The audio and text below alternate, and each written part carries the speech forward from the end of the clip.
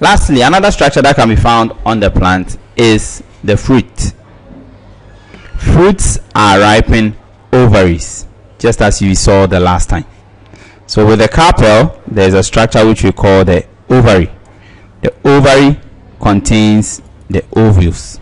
Okay so this structure here when ripe will become our ovary and then what is contained in there will become our seeds fruits and seeds are produced after pollination and fertilization we said that pollination is where the, there's a transfer of pollen from an anther to a stigma and then fertilization is when the gametophytes in the pollen fuses with the gametophytes in the ovaries and then form a fertilized egg called the zygote.